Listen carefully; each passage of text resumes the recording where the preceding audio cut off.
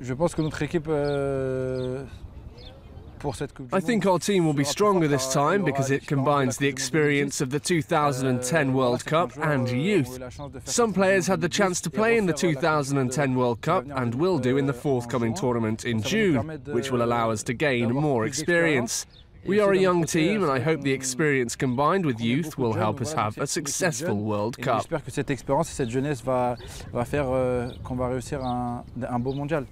Euh, non, c'est vrai que le coach euh, est assez strict. It's true euh, that voilà, the coach is very strict, but he also allows us freedom on the pitch. euh, à nous les offensifs bah, de, de pouvoir s'exprimer. Donc voilà, moi personnellement, ce qu'il me demande, c'est de.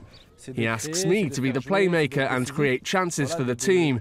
I think we have a good coach who has managed to put the team on the pense qu'on a un right path and create the ideal euh, conditions in both l'équipe dans le droit training and matches.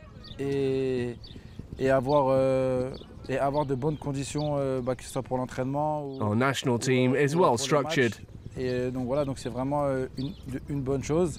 Et voilà, et aujourd'hui, euh, notre équipe nationale est très bien structurée.